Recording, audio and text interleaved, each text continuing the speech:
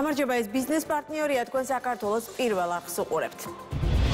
საფლიო ბანკმა საქართველოს ეკონომიკური ზრდის პროგნოზები განაახლა 2022 წლისთვის მაჩვენებელი გაიზარდა ხოლო მიმდინარე 2023 წლის პროგნოზი გაუარეს და საერთაშორისო საფინანსო ინსტიტუტმა გლობალური ეკონომიკური პერსპექტივების ანგარიში გამოაქვეყნა, სადაც საქართველოსთან ერთად სხვა ქვეყნების ეკონომიკური მიმოხილვა წარადგინა. ანგარიშის დეტალებზე უფრო ვრცლად მარიამ მინატე ისაუბრებს, რომელიც ახლა პირდაპირ ეთერში გვერდება.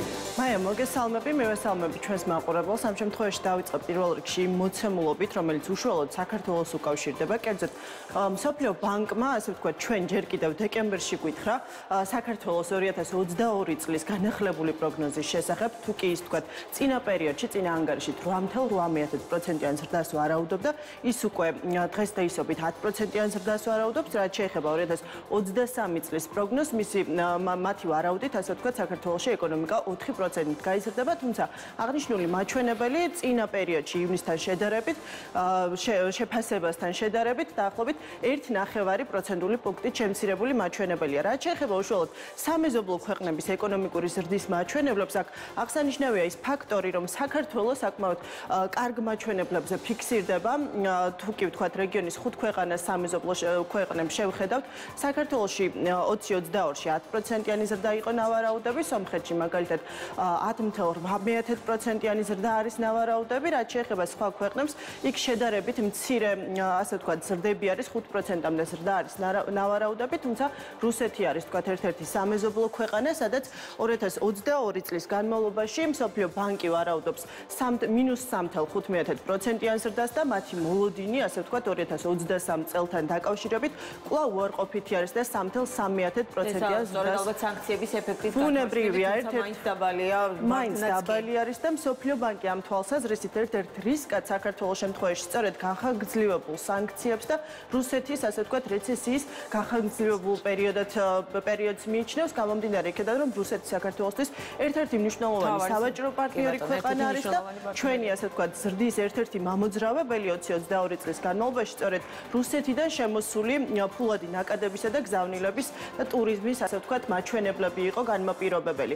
რაც შეეხება უშუალოდ 23 წლის შემცირებულ პროგნოზს მსოფლიო ბანკი ამ თვალსაზრისით რისკად აღიქვამს ასე ვთქვათ გლობალურ ტენდენციას გლობალურ ტენდენციას როდესაც ვთქვათ მსოფლიოს მსოფლიო ქვეყნებში ასე ვთქვათ მოსალოდნელი არის ზრდის ვარდნა რაც ბუნებრივია ეს იქონიებს გავლენას საქართველოსზე ამავე დროს ის ვარაუდობს რომ საქართველოში 2023 წლის განმავლობაში შენელდება ასე ვთქვათ მიგრანტების ეფექტი და ის ვთქვათ საქართველოსზე გავლენას იქონიებს უარყოფითად მათ შორის ის რისკად მიიჩნევს იმასაც, რომ საქართველოში მაღალი დოლარიზების მაჩვენებელი არის და კურსზე ამან შესაძლოა უარყოფითი გავლენა მოახდინოს. ერთ-ერთ ასე ვთქვათ პოზიტიურ დინამიკად მსოფლიო ბანკი მიიჩნევს პერსპექტივაზე დადებითი გავლენის მომხდენად, რომ საქართველოს თუ კი ვთქვათ უფრო მეტად გამოიყენა 2023 წლის განმავლობაში ის დერეფნის პოტენციალი, რაც სავაჭრო მაჩვენებლებს ზრდიდა 2023 წლის განმავლობაში, ეს ბუნებრივია. ზრდის პროგნოზზე უფრო დადებითად იქონიებს გავლენას და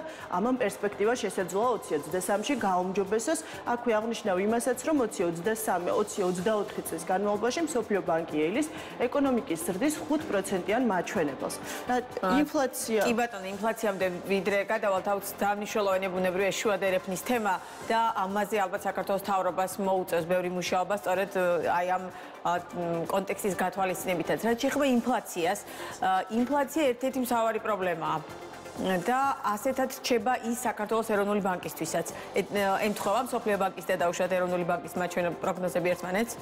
კი, მაია, ინფლაციასთან დაკავშირებით, მაშინ როდესაც ყველანი თანხმდებოდნენ იმაზე, რომ ინფლაცია 2022 წლის, ასე ვთქვათ, ერთ-ერთი ყველაზე დიდი გამოწვევა იყო, არა მხოლოდ საქართველოსთვის, მსოფლიო ბანკმა, ასე ვთქვათ, 2022 წლის განმავლობაში აღნიშნა ის ფაქტორი, რომ წლის მეორე ნახევარში ინფლაციამ დაიწყო კლება და უკვე დეკემბერში 9.8%-ს მიაღწია, რაც შეეხება ეხება 2023 წლის მოლოდინებს, მსოფლიო ბანკი როგორც ინსტიტუტი უშუალოდ არაკეთებს ესე ცალსახა ანგარიშებში ინფლაციის პროგნოზებს, თუმცა აღნიშნავს იმასაც, რომ კაცრი მონეტარული პოლიტიკა, რომელიც 2022 წლის განმავლობაში ეტაპობრივად განახორციელა ეროვნულმა ბანკმა, გავლენას იქონიებს უშუალოდ ინფლაციის მაჩვენებლის შემცირებაზე ეტაპობრივად უკვე 2023 წლის განმავლობაში და ეს ბუნებრივია აისახება უკვე ფასებზე, მაჩვენებლებზე და იმ ტენდენციაზე, რაც სავარაუდოდ აისახება ეკონომიკური ზრდის იმ შემცირებულ მაჩვენებელსაც, რომელიც დავუშვათ იგივე მსოფლიო ბანკის პროგნოზია. ძალიან დიდი მადლობა მარია მინაძე საუბრობდა ბიზნეს პარტნიორის პირდაპირ ეთერში. ტერაბანკი 41000 ლარი დაჯარიმდა ერონმა ბანკმა კომერციული ბანკის შემოწმების პროცესში მოთხოვნილი ინფორმაციის მარეგულირებლისთვის არასწორად წარდგენის 4 შემთხვევის გამო დააჯარიმა.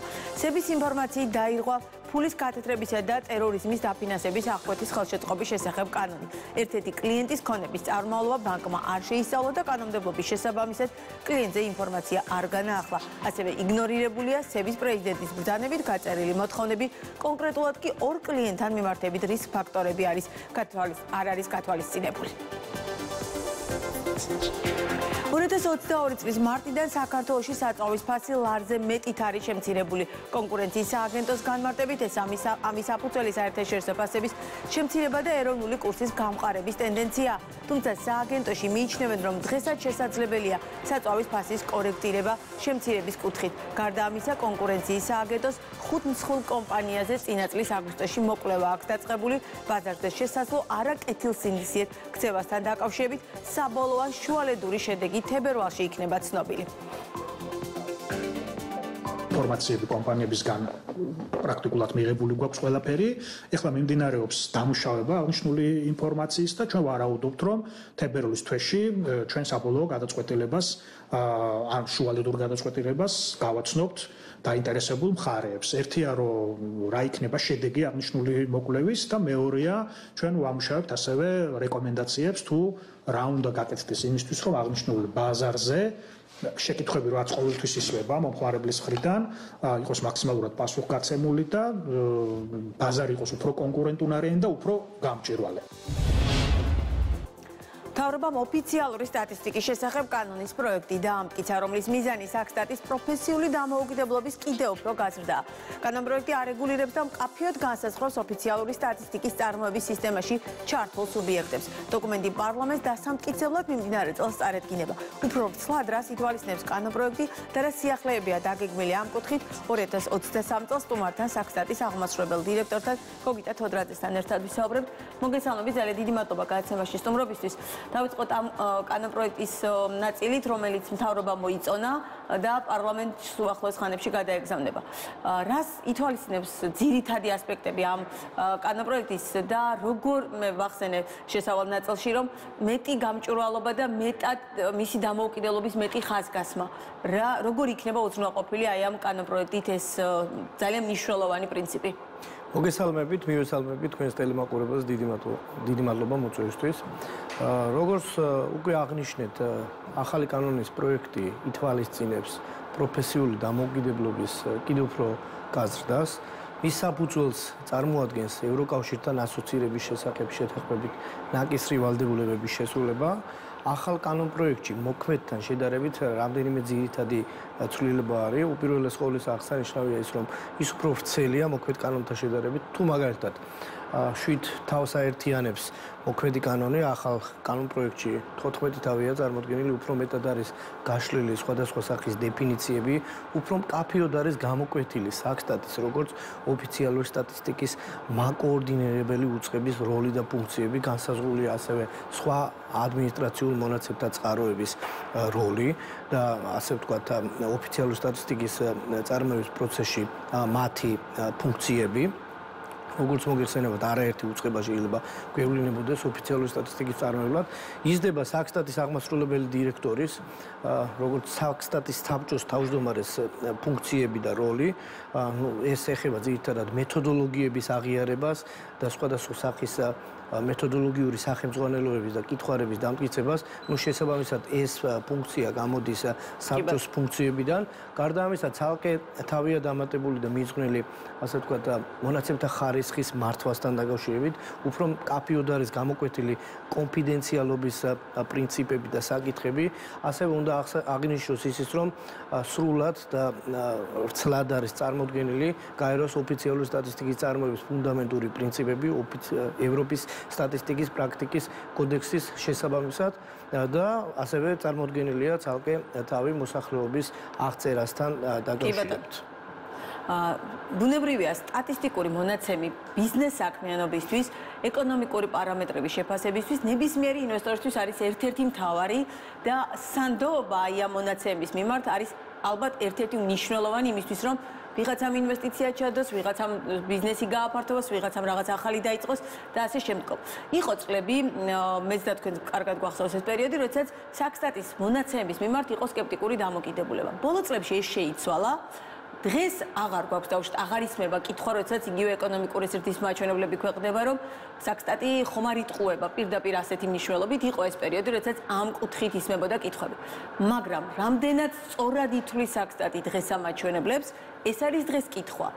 თქვენ როდესაც მეთოდოლოგია ახსენეთ, მეთოდოლოგიის ცვლილება როგორ აისახება იმაზე, რომ რეალურად მაჩვენებლებს მე ვენდო ბოლომდე, არამხოლოდ თლიანობაში სურათი ამანახოს, არამედ ყველა იმ მონაცემს ვენდო, რომელსაც საქსტატი აქვეყნებს და გამოაქვეყნებს. კითხვაზე თუ რამდენად სწორად ითვლის საქსტატი ამა თუ იმ მაჩვენებელს, საქსტატს ყოველთვის აქვს პასუხი. ჩვენ ვეფუძნებით ზოგადად შემიძლია ვთქვა რომ ვეფუძნებით იმ საერთაშორისო პრაქტიკას და საუკეთესოდ აღიარებულ მეცნიერულად დასაბუთებულ მეთოდებს ეს საერთაშორისო პრაქტიკა და საერთაშორისო მეთოდოლოგიები შემოთავაზებულია სხვადასხვა საერთაშორისო ორგანიზაციების მიერ, როგორიცაა საერთაშორისო სავალუტო ფონდი, ევროსტატი, როგორიცაა გაერო, შრომის საერთაშორისო ორგანიზაცია და ასე შემდეგ. ჩვენ ვამბობთ და ვასაბუთებთ არაერთხელ და ხშირად ზოგადად, რომ მივსდებთ ამ საერთაშორისო კურსს და ვიყენებთ ჩვენს საქმიანობაში საერთაშორისო ორგანიზაციების მიერ შემოთავაზებულ რეკომენდაციას, მაგრამ იმის რევიზიას და შემოწმებას თუ რამდენად შესაბამისობაშია ჩვენი ნათქვამი ჩვენს მიერ გადადგმულ ნაბიჯებთან და რამდენად სწორად და ზედმიწევნით ზუსტად მიყვებით ამ საერთაშორისო გზამკვლევებს, ამის რევიზიას პერიოდულად ახდენენ საერთაშორისო ორგანიზაციები, აფასებენ ჩვენ სისტემას და ამ შეფასების დოკუმენტები, რა თქმა უნდა, საჯაროა და ხელმისაწვდომია საერთაშორისო. ანუ შეგვიძლია თამამად ვთქვათ, რომ საქსტატის მიერ გამოქვეყნებულ მონაცემებს მოსახლეობა ბიზნეს სექტორი უნდა ენდოს. რა თქმა უნდა, აუცილებლად უნდა ენდოს. რადგანაც ის სრულ შესაბამისობაშია საერთაშორისო სტანდარტებთან. კი ბატონო. როგორ თანამშრომლობს თავად ბიზნესი საქსტატთან? მათ შორის მონაცემის მოწოდების კუთხით. კომუნებრივი ამ მონაცემის ციდან ვერ ჩამოიტანთ, ამიტომ ის არის რეალური სურათის ამსახველი უნდა იყოს და შესაბამისად რადგან პასუხი მაქვს, რომ დიახ არის. ბიზნესთან თანამშრომლობის კუთხით ალბათ ვითარებაც გამოჯობეს და იმიტომ რომ იყო წლები, როცა ესეც პრობლემა იყო. დღეს ბიზნეს აქვს გარკვეულწოდ ვალდებულება, რომ საქსტატს მიაწოდოს ინფორმაცია. რამდენად კარგი თანამშრომლობა და პარტნიორობა არის ბიზნესთან? ძალიან კარგი შეკითხვაა, სხვათა შორის. ბიზნეს სექტორი გახლავთ ჩვენი ინფორმაციის მომხმარებელი და რესპონდენტთა უმნიშვნელოვანეს ნაწილს წარმოადგენს ბიზნეს სექტორიდან მიღებული რესპონდენტები, ხო? აა უნდა აღინიშნოს იმას, რომ თუ იზრდება, ასე ვთქვათ, ნდობა ბიზნესის მხრიდან, ჩვენი მონაცემების მხრიდან, ისინი უფრო მეტად არიან დაინტერესებული, ასე ვთქვათ, ითანამშრომლონ ჩვენთან და მოგვაწოდონ უფრო მეტად დისაგრეგირებული და სანდო ინდივიდუალური მონაცემები. ჩვენ რა თქმა უნდა კანონით ვავალდებულებთ რესპონდენტებს რომ ითანამშრომლონ ჩვენთან ეს სავალდებულოა ოფიციალური სტატისტიკის შესახებ კანონის შესაბამისად მაგრამ უფრო მეტად ფოკუსირებული ვართ იმაზე რომ მათ კონდეთ ჩვენთან თანამშრომლობის სურვილი და მათ ეს мотиваცია ამოძრავებდეთ. ანუ სურვილი რადგან აქვთ ეს ნიშნავს რომ მათ მიწოდებულ ინფორმაციულ ინფორმაციას დავუშვათ რაღაც ფილტრაციას არ უკეთებთ და სწორად აწვით ამუშავებთ მე უკვე იმისთვის რომ საზოგადოება თუ ექნებათ მათ თუ ექნებათ იმის სურვილი რომ იყვნენ ჩვენი ინფორმაციის მომხმარებლები ბუნებრივია ეს განაპირობებს იმასაც რომ გამომდინარე იქიდან რომ ისინი ჩვენი რესპონდენტები არიან განაპირობებს იმასაც რომ წარმოგვიდგინონ ჩვენს მიერ მოთხოვნილი ინფორმაცია, რომელსაც ვიყენებთ ოფიციალურ სტატისტიკის წარმოებაში. კიდევ ერთი თემა, რომელიც ასევე ძალიან მნიშვნელოვანია.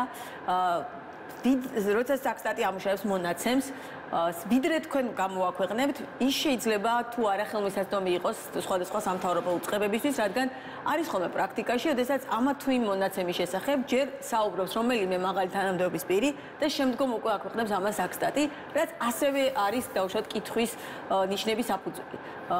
ეს არის მიღებული პრაქტიკა, თუ დაუშვათ ამ მიმართულებითაც სამუშაოა იგივე აკსტატის და მეტი დამოუკიდებლობის გაზრდის კუთხით. არავითარ შემთხვევაში არ არის ხელმისაწვდომი აღნიშნული ინფორმაცია წინასწარ არც ერთი უწყებისთვის და არც ერთი თანამდებობის პირისთვის ინფორმაცია რომელსაც ჩვენ ეკონომიკის პარამეტრებს გეტყვით. ბევრი შემთხვევა, როდესაც რომელიმე ოფიციალური პირი აცხადებს. მაგრამ ამასაც გეტყვით რა უდგას უკან. ამ ყველაფერს.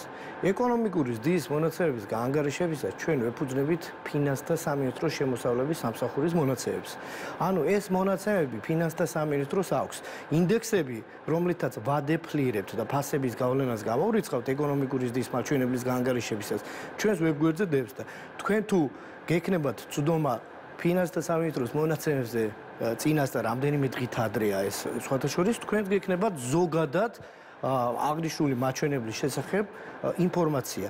შესაბამისად, თუ ეს ინფორმაცია საჯაროა და არანაირი პრობლემა ეს ინფორმაცია აქვს ფინანსთა სამინისტროს შემოსავლების სამსახურის მონაცემებზე დაყრდნობით და შესაბამისად ეს გახლავთ. ერთადერთი უწყება, რომელმაც დაახლოებით იცის რამდენი შეიძლება იყოს ეკონომიკური და რამდენიმე დღით ადრე მაგრამ ეს არ ნიშნავს იმას, რომ ჩვენ ვანგარიშობთ ამ მაჩვენებელს, ან უზიარებთ ვინმეს, მათ შორის ფინანსთა სამინისტროს, ან რომელიმე უწყებას. ანუ დამოუკიდებლობა თქვენი ამ რა თქმა უნდა, რა თქმა უნდა და თუ თქვენ დააგვირდებით ჩვენი რელიზების კალენდარს, 11 საათზე ქვეყნდება ხოლმე მაჩვენებელი და სწორედ ოფიციალური სტატისტიკის ფუნდამენტური პრინციპი იმას ითვალისწინებს, რომ ინფორმაცია, რომელსაც ჩვენ ვაქვეყნებთ, თანაბრად ერთდროულად უნდა იყოს ხელმისაწვდომი ყველასთვის, ნებისმიერ რიგითი მოხდა მისაუბრის ბოლოს აღწერა სიწყებთ მომავალი თუ ამ წლიდან 2023 წლიდან თუ მომავალი წლიდან? 2024 წელს კი ბატონო. ჩატარდება აღწერა თუმცა წელს მოსაბზადებელ სამუშაოებს ვიწყებთ მიმდინარე წლის განმავლობაში დაგეგმილია ასე ვთქვათ წინასწარი შემოვლის სამუშაოები აღირიცხება ყველა საცხოვრისი მასში მცხოვრები ადამიანების რაოდენობა განისაზღვრება სავარაუდო და 2024 წლიდან უკვე ნოემბრიდან ჩვენ დავიწყებთ მოსახლეობის აღწერას არატრადიციული მეთოდებით. არატრადიციული მეთოდი რა არის? რო განმარტოთ და რამდენად ზუსტი იქნება ის ინფორმაცია, რომელსაც მიიღებს, იმიტომ რომ ამ კუთხითაც არის ხოლმე კითხვები, რომ აი რამდენი ვართ მოსახლე, რამდენი წავიდა მიგრაციაში, რამდენმა დატოვა და ბუნებრივია ეს კითხვები არსებობს და ამ კითხვებს პასუხის გაცემა საჭირო. სწორედ იმიტომ ტარდება მოსახლეობის აღწერა, რომ ამ კითხვებს გაეცეს პასუხი. ეს ერთი. ტრადიციულ მეთოდს მიეკუთვნება ქაღალდური კითხვის გამოყენება. არატრადიციულ მეთოდში, ანუ თანამედროვე მიდგომას როცა ვახსენებ ჩვენ უპირველეს ყოვლისა პირველი ორი კვირის განმავლობაში დაიწყება მონაცემთა შეგროვება თვით რეგისტრაციის მეთოდით, ანუ ვებ პლატფორმის გამოყენებით, ანუ მოქალაქის ნებისმიერ შეიძლება შევიდეს ვებგვერდზე და შეიყვანოს კითხვით გათვალისწინებული მონაცემები, ამასთან მოხვება მომდენო ორი კვირის განმავლობაში ეგრეთ წოდებული კაპი მეთოდი, ანუ პლანშეტური კომპიუტერის გამოყენებით მიაკითხავს ჩვენი ინტერვიუერი აღწერი შინამეორებას ოჯახს. რომ დაუშვათ ამას მოქალაქეები იზავენ იმის გათვალისწინებით, რომ იგივე კომპიუტერი ხელმისაწვდომი მიუხედავად დიდი სურვილისა ჯერ კიდევ არ არის მთელი ქვეყნის მასშტაბით შესაძლებელი. ამიტომაც ჩვენ რა პროცენტიც დაგროვდება ამის? დანარჩენს აბსოლუტურად კი ბატონო. ძალიან დიდი მადლობა წარმატებებს გისურვებთ. გოგიტა თოდრაძე იყო ბიზნეს პარტნიორის პირდაპირ ეთერის სტუმარი. DRG სისტემის ამოქმედებიდან ორი თვის შემდეგ კლინიკები დადგენილი ტარიფების გადახედვას ითხოვენ. საუბარია ზოგიერთ ისეთ მიმართულებაზე, სადაც DRG კათოლიცნებული დაფინანსება კლინიკებისთვის საინტერესო არ არის. ეგრეთ წოდებული DRG სისტემა ბაზარზე არსებული კლინიკების ფასიდან სხვადასხვა მომსახურებასა თუ სერვისის შუალედურ ფასთვის. სწორედ ამ ფასით დაფინანსებს შემდეგში სახელმწიფო საყოველთაო ჯანდაცვის პროგრამაში ჩართულ კლინიკებსა და ბენეფიციარებს. გავითარება ახალი სქემის ამოქმედების შემდეგ ჯანდაცვის სექტორში დარანაბიჯების გადათმას აპირებს ჯანდაცვის სამინისტრო. ეკა კასტელიანი გვერდება თემის დეტალები პირდაპირ ეთერში. ეკაგის გამარჯობა მაია ტარიფების საკითხზე მუშაობა უნდა გაგრძელდეს ესაა კლინიკების პოზიცია მათი შეფასებით ამ ორი თვის განმავლობაში რომელიც ატესტო რეჟიმში მიმდინარეობდა გამოიკვეთა გარკვეული ხარვეზები ეს იყო ტექნიკური ხარვეზების თუმცა მთავარი პრობლემები რომელიც გამოიკვეთა ეს იყო მათი შეფასებით თანაგადახდის პროცენტის დაფინანსება რომელიც ბენეფიციარებისთვის საკმაოდ რთული აღმოჩნდა. ამაზე კომუნიკაცია ჰქონდა ჯანდაცვის ასოციაციას სამინისტროსთან და ამ კუთხით ცვლილებებს ელოდებიან კლინიკები დაფიქსირდება ზედაჭერი ეს იქნება არაუმეტეს 30%-ის თანაგადახდა პაციენტის მხრიდან და შეავსებს მას ჯავშის საავადმყოფო ჯანდაცვის პროგრამა. თუმცა მთავარ პრობლემად სახელდება მაღალტექნოლოგიური ოპერაციების საკითხი, რომელიც მოითხოვს ძვირადღირებულ დამხმარე საშუალებებს და ის ფასი, რასაც თავაზობს DRG სისტემა კლინიკებს, მათ შეფასებით ეს ფასი არაადეკვატურია და საჭიროა რომ ამ კუთხით ტარიფები გადაიხედოს. დამხმარე საშუალებები, რომლებზეც ჩვენ საუბრობთ, არის ძალიან მაღალტექნოლოგიური, თავისთავად, არის წარმოება ყველა ქვეყანაში და აქვს საკმაოდ მაღალი ფასი. ანუ შესყიდვას აწარმოებს სექტორი იმ ფასად, რა ფასათაც მოგვეწოდება, ხო? ამის ხა სხვა ალტერნატივა, როდესაც არ არსებობს, სხვა გამოსავალი არ არის. შესაბამისად, რა თქმა უნდა, ამაზე მიდის მუშაობა, ვერსიები არსებობს, თქვა, საერთაშორისო გამოცდილების, მაგალითად, დამატებითი ბიუჯეტი მხოლოდ ამ დამხმარე საშუალებებისთვის. მაგალითად, გერმანია ასე გაუმკლავდა ამ პრობლემას. ანუ სისტემას ვერ შეცვლი, რა თქმა უნდა, DRG დაფინანსების სისტემას შესაძლებელია რაღაც კოეფიციენტი რომელიღაც ჯგუფზე შეიცვალოს და ეს მიმდინარე პროცესია. რაც შეეხება დადგენილ ტარიფებს, ვფიქრობთ, რომ ამ მიმართულებით მუშაობა უნდა გაგრძელდეს. საუბარია რაღაც კონკრეტული სპეციფიური კონკრეტული მიმართულებების კუთხით, სადაც რაღაც დონეზე გადასახედია, თუმცა ვფიქრობთ, რომ ეს მინდა სამუშაო რეჟიმში შესაძლებელია იქნას დარეგულირებული და რაღაც კონკრეტული უფრო მაღალტექნოლოგიური მიმართულებები სექტორში არ დაიკარგოს და აქ აქედან გამომდინარე საშუალება გაჩნდეს იმის, რომ დარგი გრძელვადი ამ პერსპექტივაში განვითარდეს. არსებობს რაღაც კონკრეტული ვიწრო მიმართულებები, რომელიც DRG-ის კომპონენტის ფარგლებში შეიძლება საინტერესო არ აღმოჩნდეს, რომ ფეხი აუწყოს დარგმა. აქედან გამომდინარე არ არ ფიქრობთ, რომ არ იქნება სწორი მივიწყებული იქნას კონკრეტული კონკრეტული უფრო მაღალ ტექნოლოგიური სერვისები. ჯანაცვის სამინისტრო აცხადებს, რომ დაიწყებს იმ კლინიკების დაჯარიმებას, რომლებიც რთულ მაღალტექნოლოგიურ ოპერაციებს არ ჩატარებენ იმ მიზეზით, რომ გასაშუალოებულ ტარიფში საშუალოზე უნდა მაღალი თანხა სჭირდებათ, როგორც ჩანს ამ განცხადების მიზეზი გახდა ის, რომ DRG-ის ამოქმედებიდან მალევე დაფიქსირდა შემთხვევები, როდესაც ექიმების ნაწილმა საყოველთაო ჯანაცვის ფარგლებში ოპერაციის ჩატარებაზე უარი თქვა იმ მოტივით, რომ დაწესებული ტარიფები რთული ქირურგიული ჩარევის ხარჯებს ვერ ფარავს. ჯანაცვის მინისტრის მოადგილე აცხადებს, რომ ამ საკითხზე კლინიკებთან ასოციაციებთან და არაერთი შეხვედრა გამართა და პროგრამაში გარკვეული ცვლილებების შეტანას დაიგეგმა, თუმცა მნიშვნელოვანი ცვლილებები მოსალოდნელი არ არის. კიდევ ერთ ხარვეზე ის ჯანდაცვის მინისტრმა ისაუბრა საპილოტო რეჟიმის დასრულების შემდეგ და ეს არის პაციენტისთვის არასაჭირო ჩარევების დანიშნვა ექიმების მხრიდან ფასის ხელოვნურად გასაზრდელად, მისივე თქმით, ასეთი შემთხვევა უკვე საკმაოდ ბევრი დაფიქსირდა და დაგეგმილი ამ კუთხით მონიტორინგის გამკაცრება. სამწუხაროდ იკვეთება ზოგიერთ შემთხვევაში ეგრეთ წოდებული აპსკეილინგი, როცა ცდილობენ სხვადასხვა ჩარევების ხელოვნურად დამატებას ფასის გაზდის მიზნით, მაგრამ მინდა ყველა მსგავსმა კლინიკამ თუ ამ კლინიკების მენეჯმენტმა თუ დამფუძნებლებმა იცოდნენ, რომ ჩვენ აუცილებლად ყველა ასეთ შემთხვევას ინდივიდუალურად გავივლით და ისინი მიიღებენ სამართლიან ანაზღაურებას იც იმას თუ რაც ეკუთვნოდათ ამ სისტემის მიხედვით გაწეული მომსახურებიდან და არანაირად არც ერთ შემთხვევაში ჩვენ არ მოვახდენთ ბიუჯეტიდან ზედმეტი თანხების გადახდას მათთვის. ამ ორი თვის შეჯამების შემდეგ მოგვიწევს სხვადასხვა პროცესების გადახედვა რომელიც უფრო მეტ მონიტორინგს და კონტროლის შესაძლებლობას მოგცემს რადგანაც ამ პერიოდში სამწუხაროდ არის ფაქტები როცა პირადი ფინანსური დაინტერესებიდან ზოგიერთ შემთხვევაში საკმაოდ ძიმე პაციენტების მიღებაზე, მოსახურებაზე ზოგჯერ ოპერაციებზე თქვენს უარი ეს ყოველად მიუღებელია გეტყვით რომ ნოემბრის დასაწყისში ამოქმედდა DRG სისტემა ურთვიან საპილოტო რეჟიმში.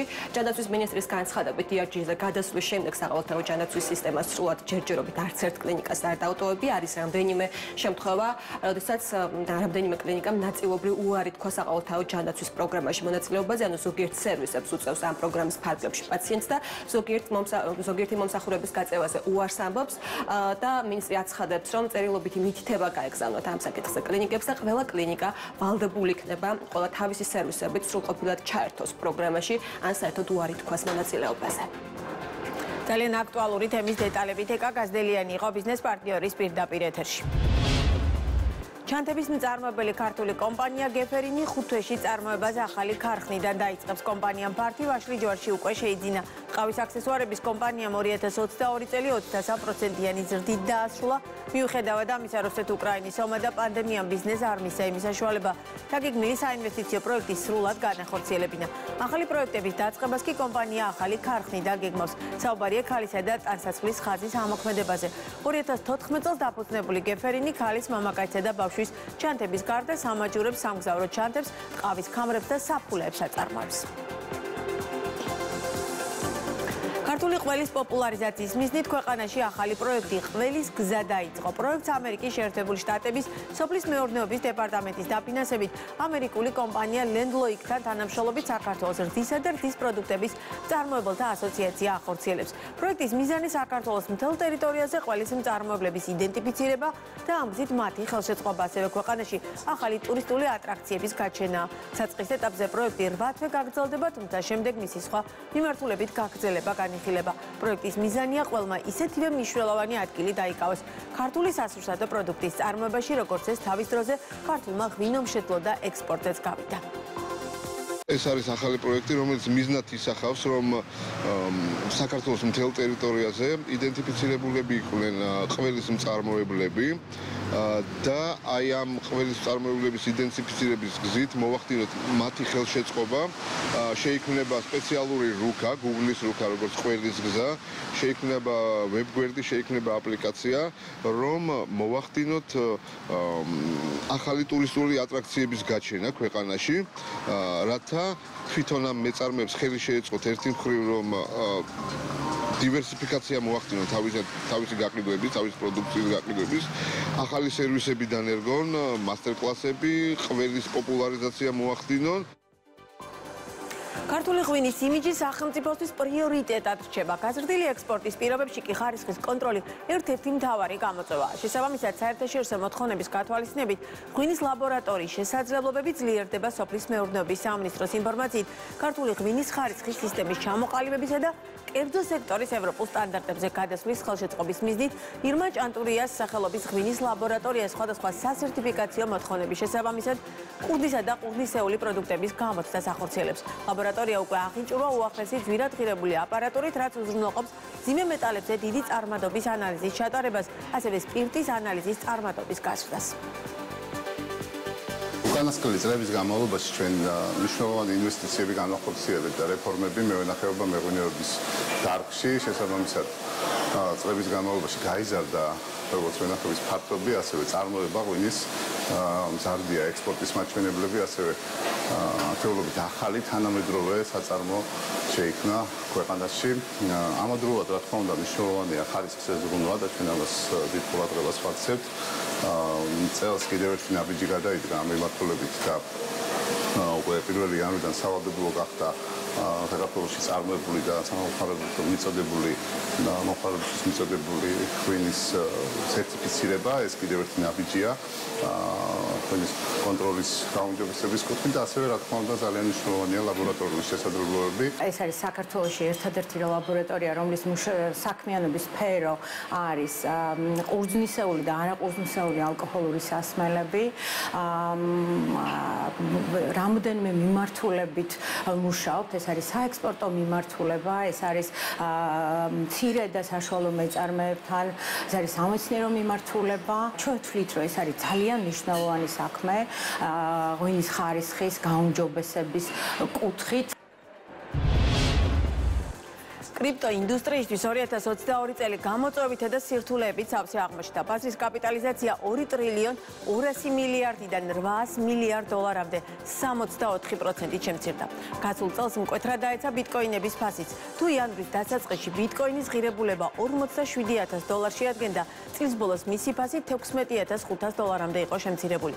რა ფაქტორებმა განაპირობებს ბირჟის დაღმასვლა 2022 წელს და რა მოლოდინია სექტორში? ცნობილია რომ ბიტკოინების ფასმა ბოლო პერიოდში ზრდა დაიწყო და დღეს უკვე მისი ღირებულება 18100 დოლარს აჭარბებს.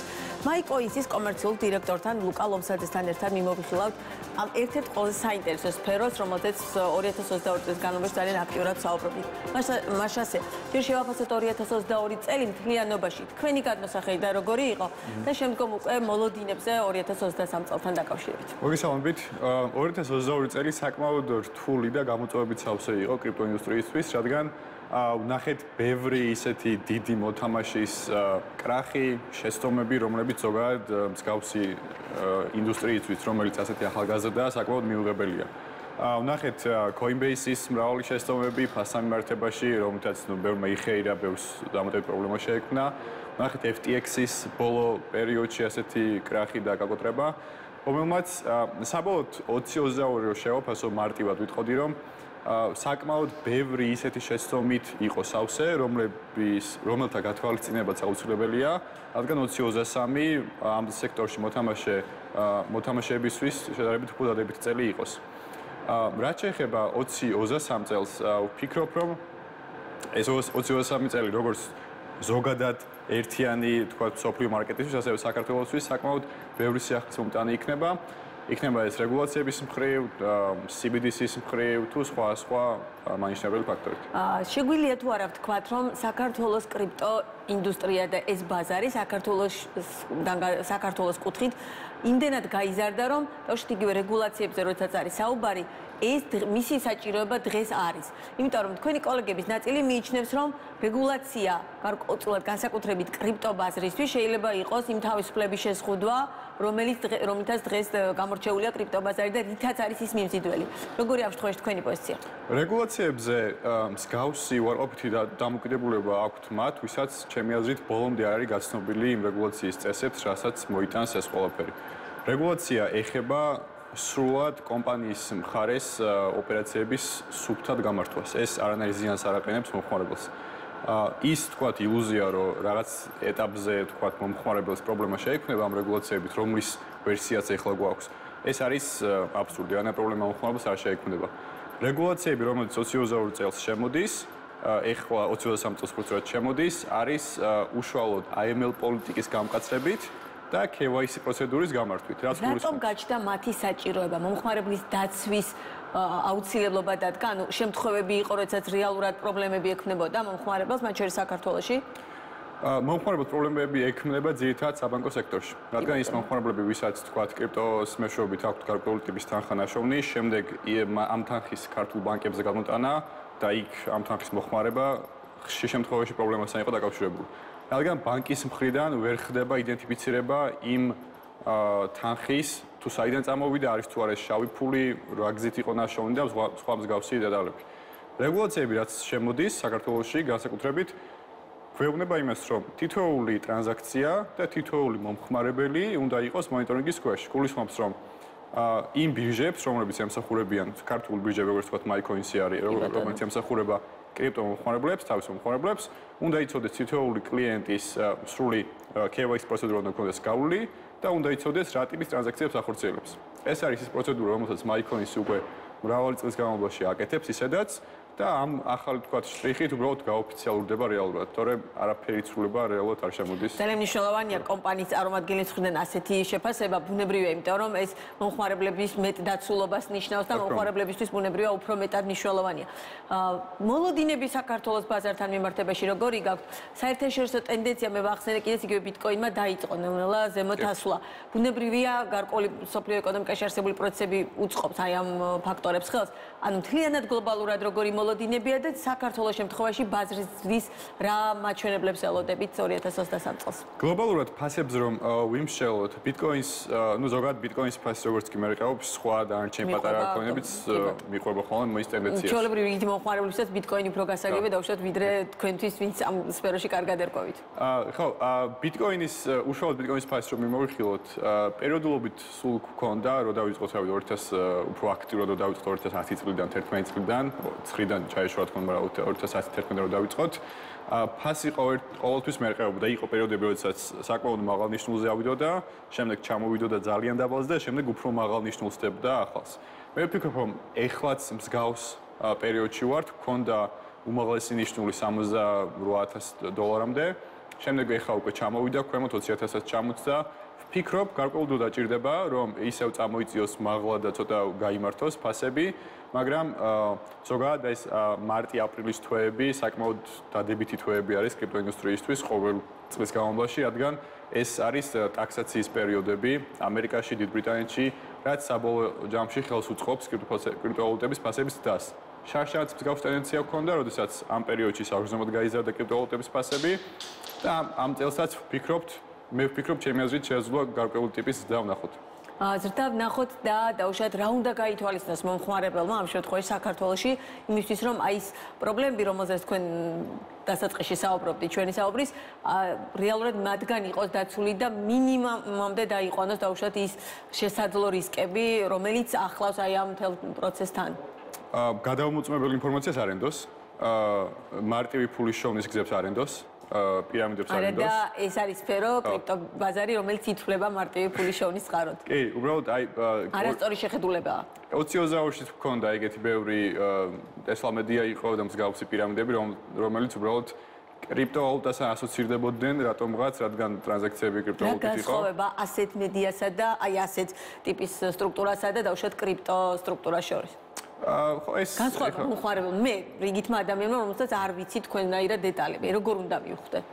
და მაქვს სურვილი რომ დავუშვათ რომელიმე ამ პროცესის მონაწილე მარტივად რომ მაგიხსნათ წარმოიდგინეთ თუ გსურთ ინვესტირება გააკეთოთ მარტივ მაგალითად როგორც ბიტკოინში. და გინათ რომ ბიტკოინი იყიდოთ რომ გარკვეულ პერიოდის მერე ფასი გაიზარდოს და შემდეგ უკვე რაღაც მოგება ნახოთ. რომ ავიღოთ ახლა ისეთი თქვა პირამიდული სქემები როგორც ტესლა მედია იყო. ტესლა მედია სრულიად სხვა რაღაცას ემსახურებოდა რაღაც ტიპის სარეკლამო რგოლებს უყურებდა მომხმარებელი და უბრალოდ ტრანზაქციები თანხის გამოტანა იყო ბიტკოინის კრიპტოვალუტების მეშვეობით. სხვა ვალუტები იყო მაგრამ კრიპტოვალუტა მაკრო იყო ჩართული.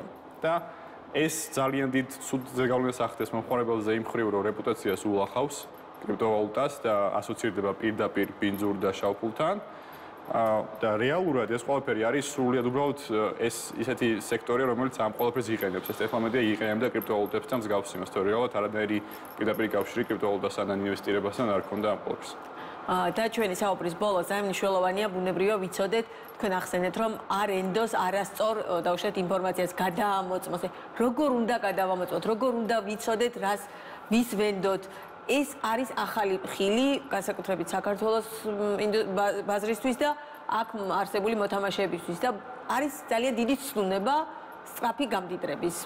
კი. გეთანხმებით, საკმაოდ ახალი მარკეტია, მაინც ძალიან ახალგაზრდა მარკეტია და ძალიან ბევრი ისეთი შესაძლებლობები ხდება, რაც ზოგად გაზრდილ და დაღვინებულ სექტორებში არ ხდება.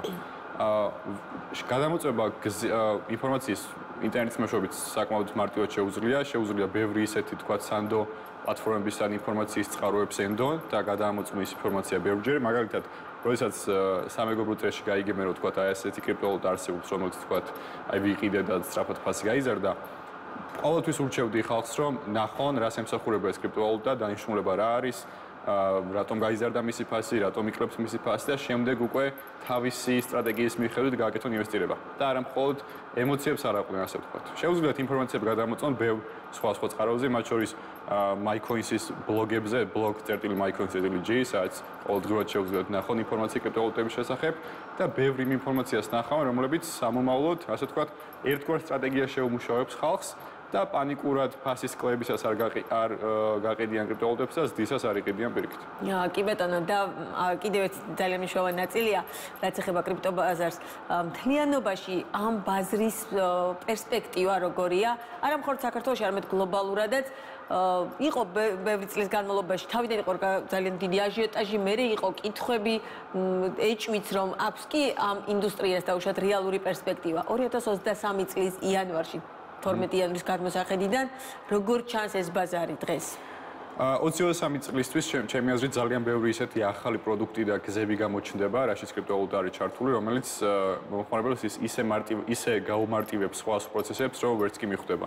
ეს შეიძლება იყოს NFT-ების მხრივ და არ გულისხმობ იმ NFT-ებს, რომლებიც გარკვეული პერიოდის წინ ნახატის მხრივ გვეუბნებოდა ძირითადად და მაგ მხრივ იყო საზოგადოებაში პოპულარული.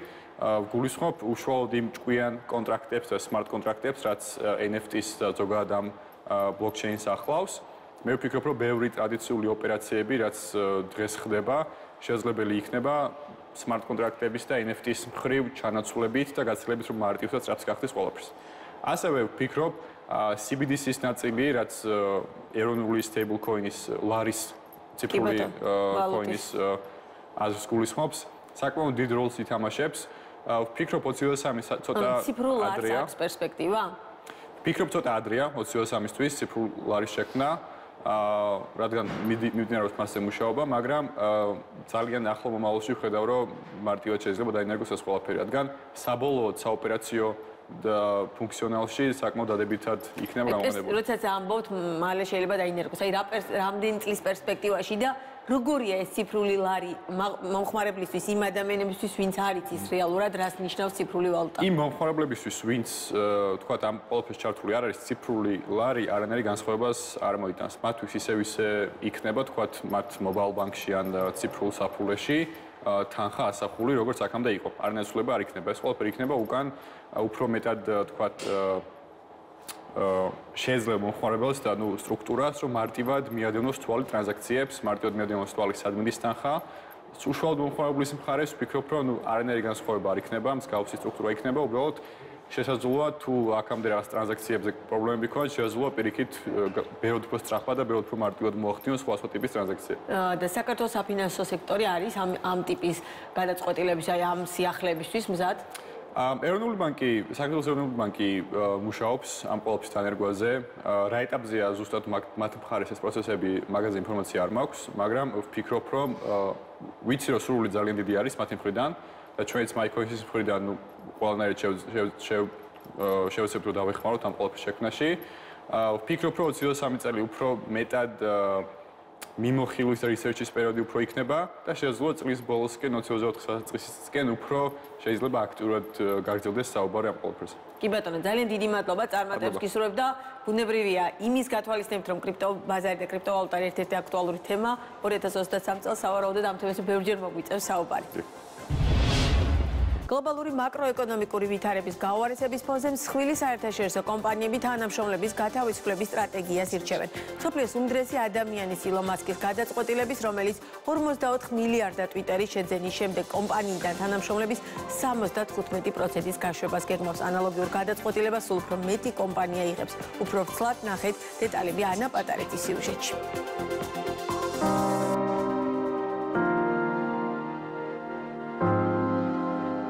სამსახურის გარეშე დარჩენილი ათასობით ადამიანი. ახალმა კრიზისმა, რომელმაც თავი 2022 წელს იჩინა შრომის ბაზარს მნიშვნელოვანი დარტყმა მიაყენა, თუმცა COVID პანდემიის ნეგატიური შედეგები სექტორისთვის ჯერ კიდევ გამოწვევად რჩება.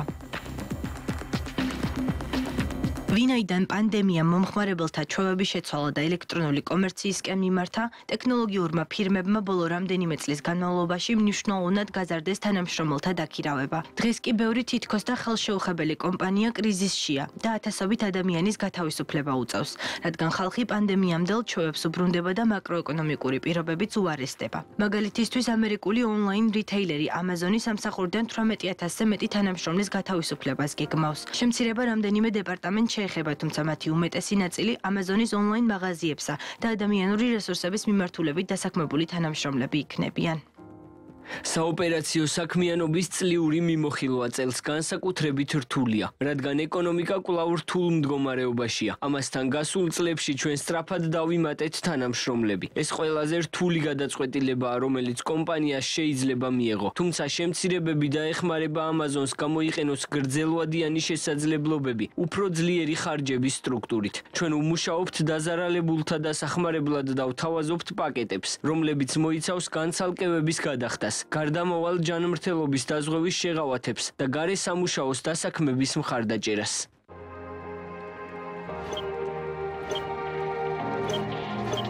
All right, perfect.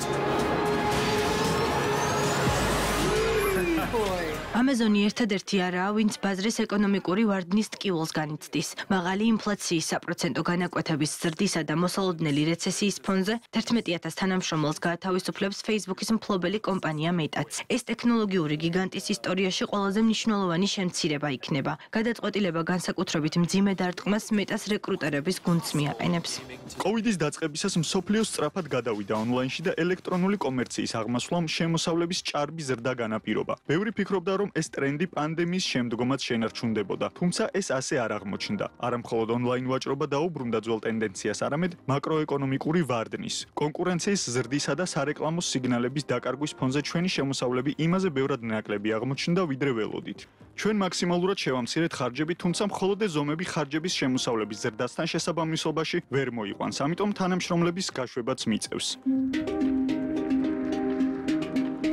ხარჯების შემცირებას თანამშრომლების დათხოვნის გზით მიმდინარე კვირას მსოფლიოს ერთ-ერთი წამყვანი საინვესტიციო ბანკი Goldman Sachs-იც იწყებს. კვირის ბოლოსთვის სამსახურის დატოვება 3200-მდე თანამშრომელს მოუწევს. თებერვლამდე კი მათ რიგებს 1000 ადამიანი შეემატება. ეს კი ჯამში Goldman Sachs-ის სამუშაო ძალის 8%-ს შეადგენს. წლიურად საფონდო ბიჟაზე ბანკის აქციების ღირებულება 13%-ითაა შემცირებული. გარდა Goldman-ისა 2022 წლის კრიზისმა, მაღალმა ინფლაციამ საპროცენტო განაკვეთების ზრდამ და 2023 23 წელს ეკონომიკურ ზრდასთან დაკავშირებულმა ნეგატიურმა მოლოდინებმა კადრების შემცირებისკენ სხვა მსხვილ, მცირე და საშუალო კომპანიებსაც უბიძგა.